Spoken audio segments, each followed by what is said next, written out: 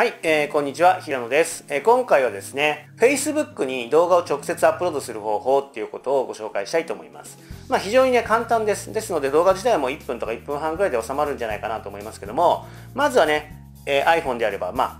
えー、Facebook アプリを立ち上げますね。えー、そして Facebook アプリの、まあ、自分の投稿する画面、まあ近況でもいいですし、まあ自分の、えー、ホーム画面ですね。ホーム画面、よいしょ。自分のこのホーム画面自分のプロフィールページから、えー、このね投稿するところ近況投稿するところを選んでいただいて単純にまあこれねプライバシー設定がちょっと今自分のみになってたんで今出ましたけどこれちょっと自分のみにしておきますね。恥ずかしいので、えー、どこいった？よいしょと。自分のみ自分のみ。あったったはい。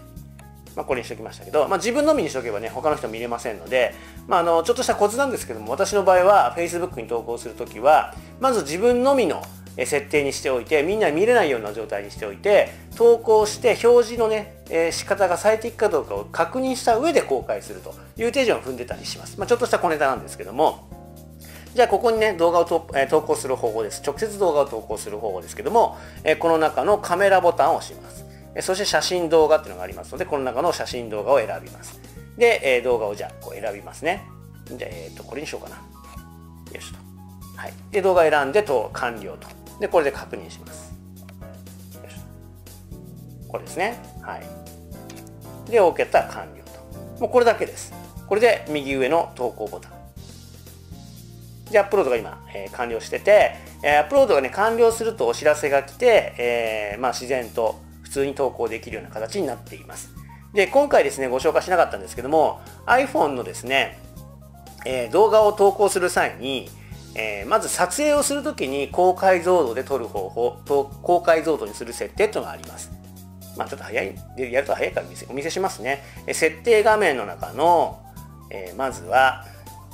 こちらですね、ビデオ、あ写真とカメラ、ここの部分をタッチしていただいて、下の方にね、ビデオ撮影っていうのがあります。ここですね。この中の一番まあいい解像度、一番高い数字のものをチェックしておいてください。まあ、この理由はね、ちょっと長くなるんで今日お話しません。まあ一番いいものにしといてくださいってことです。えそして Facebook に動画を投稿するとですね、どうしても、あの、荒い映像になってしまうんですね。なんでかっていうと、Facebook 側が勝手にですね、動画の解像度を下げて圧縮してしまうんですね。まあ、それがすごくあの YouTube と比べても映像が雑になる傾向があるのでその際はですねなるべく綺麗に投稿したいという場合はこの中の Facebook アプリの設定のですねこの設定の中の